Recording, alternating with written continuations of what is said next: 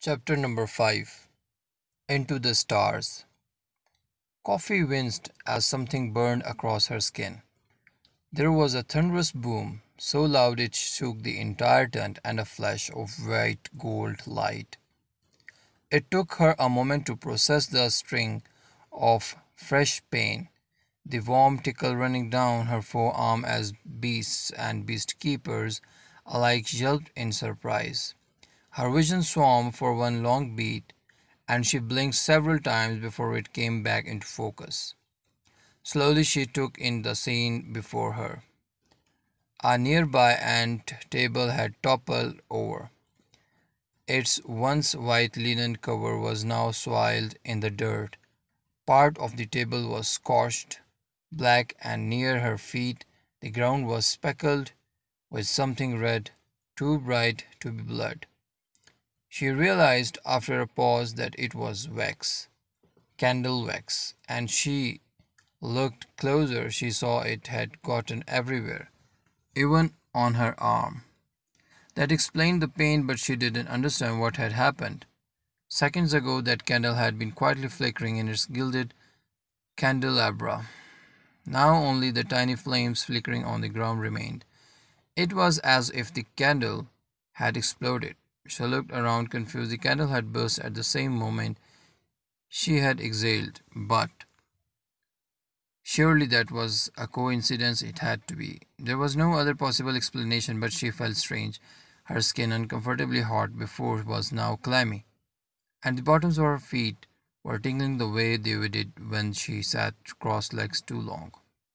The longer she stared at the candle's sizzling remnants, the harder it became to ignore the question forming in the black of her mind. Did I do that? No, of course not. It was a preposterous idea, illogical, and yet she remembered the building pressure in her chest, followed by that brilliant sense of release. A warmth had coursed through her body, rushing up her limbs, then out through her hands. Something had happened, but she didn't know what and the longer she considered that, the more uneasy she became. I did do that. I caused that. Most of the other beast keepers were still staring in bewilderment at the place where the candle had been. A few were looking around it, trying to find out what had caused it to be combust. Koffi felt a single pair of eyes on her and looked up. Mamma. Her mother was the only person in the hammock not looking at the rain candle, but at Koffi there was sheer terror in her gaze. Order! Baaz, who still stood in the middle of the tent, shouted the command at the top of his lungs, then glared at the little fires as though he meant to douse them with admonishment. One of these, you idiots, you will learn to watch where you step and quit knocking things over. Everyone remained calm and escort the animals outside in single file. He turned to a burly beastkeepers beside him, those who run to the well and fetch some water. Gwala, take Rashida to the post. I will be out in a moment. Koffi's gaze shot to Diko, then froze beside her. The Jokomoto had suddenly gone unnervingly still as he eyed the growing fire. There was an unmistakable look in the lizard's yellow gaze, a hunger. At once Koffi dropped the lead to his harness. We need to go out. She practically tripped over her own feet as she backed away from him. Somewhere in the hammer, she thought she heard a gasp. We all need to get out right now. In her periphery, Baaz's scowl grew more menacing. Shut up, girl, he growled. There's no need to. I'm telling you, we need to leave. Koffi voice rose to an octave. But she couldn't help it. She tore her gaze from Baaz to stare back at Diko. The Jokomoto had not yet moved, and there was a stubble red gold glow just beneath his scales. Please, she looked over her shoulder. Please, everyone needs to. Someone grabbed her roughly by the arm and she found herself face to face with Baaz. His face was contorted with rage. He either hadn't noticed Diko or didn't care anymore. I said, Shut up. He hissed through his teeth. This is my zoo, not yours. I decided who leaves his tent when, not you, you foul little. It happened without warning. There was an ear splitting shriek. Social, several beast keepers dropped to their knees at the sound of it. Koffi felt Baaz release her, and she fell to the ground as the entire hammer shook again and a blaze of light filled the space. The hairs on the back of her neck stood on end, end as she curled into a ball and covered her head. A long scream punctuated the air, then set off a chorus of others. Head still bowed, she listened to the sounds of pounding feet and panicked animals running around her until she dared to look up. When she did, her heart stopped. Diko. He was now in the middle of the tent, illuminated as though he were standing over some invisible white light. Fire erupted from his mouth in the horrible yellow gold waves, scorching everything in reach. He would burn the entire tent down. Koffi. Koffi looked to her right. Jabir was standing on the other side of the tent hill, looking around as his dog surrounded him and whined. His eyes were searching as he grew frantic. Koffi had opened her mouth to call his name when one of the gorillas barreled towards her and forced her to roll out of his path. When she sat up again, she couldn't see Jabir anymore move. There was a stab in her ribs as someone tripped over her. Toppling to the ground with another scream, she doubled over. The Hamas air was growing thicker and darker by the second. Harder to breathe and more difficult to see through. To her right, the Guamala, now abandoned, trotted in nervous circles until it knocked down the tent's central pole, and the whole structure gave an, an ominous shudder. A metallic tinkling intermingled with new screams as hundreds of the pitching stakes outside uprooted, unable to bear the tent's new strain. Koffi stared up at it in horror. Get down! Someone yanked her to the floor as pieces of the crimson tent began folding in on themselves, catching flame with the alarming speed. A body covered hers, shielding her from the worst of the falling debris. When Koffi turned her head, her face was inches from another Mama. She would have somehow gotten to her. Stay behind me. Mama said, Crawl. She gestured her Koffi to follow her across the rugs on hands and knees as the animals and the beekeepers trapped inside the burning tent continued screaming. The tent's exit had already collapsed and the more pieces of it were still caving in. Several feet away on the other side of the tent there was a gap where the edge of the hummus had slightly lifted from the dirt. It was a small opening, but if they could slip under it. Beneath her, bits of broken glass cut into Koffi's palms and knees. Plumes of smoke filled her lungs with every raged breath she took. She, the fire worsened hotter still, but she didn't stop. To her dismay, the gap in the tent seemed to be getting farther, not closer. Fresher embers danced around her face, and she waved a bloodied hand to bat them away. Gods, she sprayed. Please don't let my hair catch. A terrible ringing filled her ears as she opened her mouth to call out to Mamma and took into a mouthful of acrid heat instead. Her mother's silhouette, still crawling just ahead of her, was growing fainter, harder to discern amid the smoke and the bits of tent falling in around them. Koffi tried to take another breath. But it was only a dry wheeze. It burned. She winced again as someone stepped into the back of her feet. Any minute now, she knew her body would reach its limits. She wouldn't be able to go on. Koffi, Mama, shouted her name from somewhere in the darkness. Hold on to me. But it was already too late. Koffi couldn't see or feel anything but smoke and blood. Her head was growing fuzzy now, and the world tilted as she fell forward. She waited for the pain, the inevitable collision with the ground, but it never came. There was a loud crash as a new section of the tent imploded. Another long, agonized scream, strong arms caught her, half pulling, half dragging her out into the cooler night air. Koffi. The world was still dark and blurred, but Koffi felt someone gently slapping her cheek and trying to force her upright. She blinked hard and found Mama staring down at her. Get up, we can't stay here. Koffi inhaled clean air and the world righted itself. They were outside now, mere feet from the burning hammer. No sooner had she stood than Mama grabbed her arm and broke into a spirit. The animals, Mama said between strides, helped me with them. Koffi looked behind them. The hammer was now completely ablaze, a great fiery heap spreading fast to the other parts of the night zoo's ground. She heard the blast Snarls and shrieks of caged beasts at his sneering heat reached them, and her stomach heaved.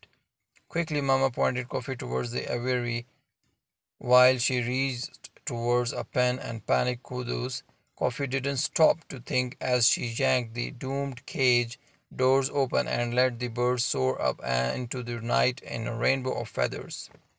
A pair of beast keepers watched in confusion before they understood what she was doing and darted away to help other animals. Koffi freed the chimpanzees, a baby warihopo, and then a zebra. She was so lost in the pandemonium that at first she didn't hear the whooping. When she did, her blood ran cold. Warriors, of course, no doubt they had seen the smoke and flames from the down in the city, and came to investigate. She shuddered. Lkossa's warriors, the sons of the Six, weren't known for their compassion. Suddenly, Mamma was at her side again. We must leave. Mamma's voice was tight, eyes wide. Now, Koffi jolted. What about our debts? Mama grabbed her by her shoulder, her grip almost painful. We cannot stay here. She pressed what just happened in the tent. If Baaz realizes what you really did and what you really are, you will never leave this place. What you really did and what you really are, the words sounded odd, somehow wrong, but Koffi didn't have time to dwell on them. As Mama tore off across the night zoo lawns, pulling her in tow, her legs screamed in protest with every stride, but she pushed to stay on Mama's heels. Around her, brief images flashed by in vivid color. It seemed the rest of a night zoo creatures had been freed, stampeding around the lawns, looking for escape too.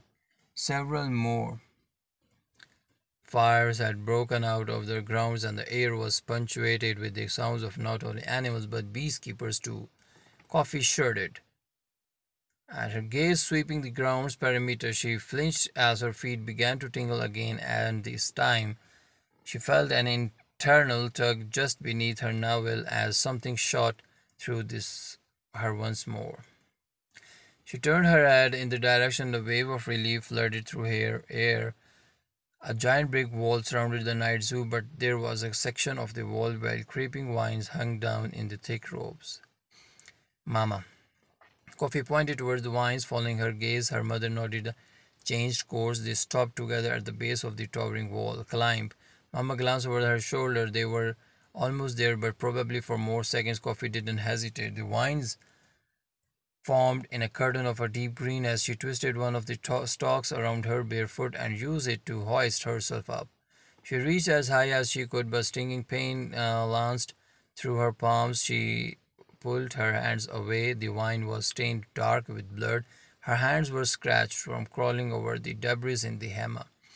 Harvey said Mamma. My hands are cut up. Mamma ripped two strips of the hem of her tunic, wrapped these around them. Koffi a bit, and tried again. This time, when she grabbed the wine, the pain was manageable. The pull below her navel was still there, urging her on as she hovered herself up the wall, inch by inch. It seemed to take a century, but gradually the top scent came to view. The stars above twinkled through the rising smoke, and Koffi used them as her guide. Reach, she told herself. Just keep reaching. Don't stop. Mama called from below. Another surge of profound relief overtook Koffi as her bandaged hands finally found purchase on the ledge, a flat stone surface just wide enough for her to have onto and perch like a bird. She looked down, expecting to see Mamma right behind her, and triumph turned to terror.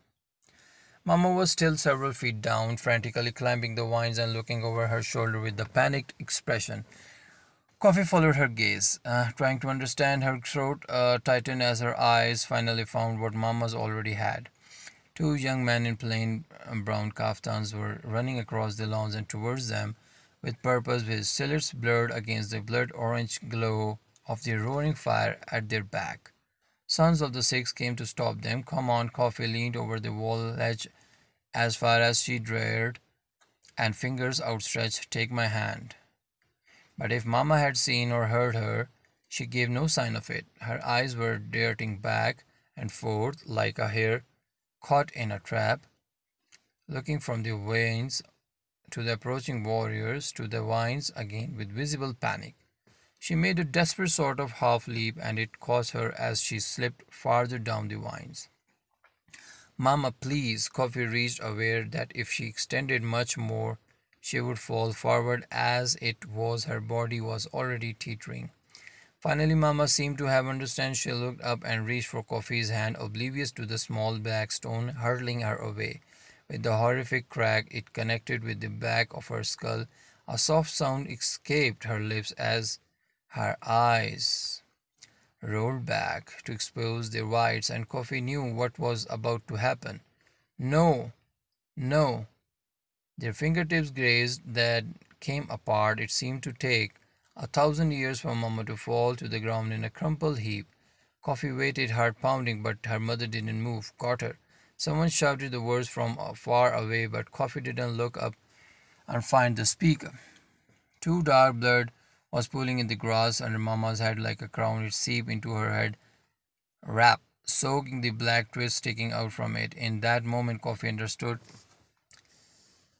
It was terrible sense of comprehension she would felt when Baba's eyes had closed on this cot so many years ago when she had realized he hadn't gone to sleep but to some place much further away, a slow dread clawed its ways up her inside, seizing her at her throat with long vicious fingers. No, she stared at her mother's body, trying to process it. No, no, no. A stone collided with her shoulder, sending fresh pain ricocheting through her body and jolting her back to the present. Yet again something tugged her core, compelling her to turn away from the night zoo and toward the open fields beyond. She felt a distinct kind of tearing within her, two things at war and pulling her in different directions. The foreign feeling in her core was demanding she leave. Mamma's body begged her to stay. Mind over heart, heart over mind. She faced the lemongrass fields before her. Hi, wait. Koffi started and look, over her shoulder. One of the warriors was close now. His dark eyes fixed on her with a hunter's focus. He was hunting, hunting her. She swayed on her perch, willing herself not to fall forward. Go, it was a single word in her mind, but it was sure repeating itself like ripples on a pond's smooth surface. Go, she made the decision then, mind over heart. Her stomach lurched as she leaped from the ledge into the stars, praying they would catch her as she fell.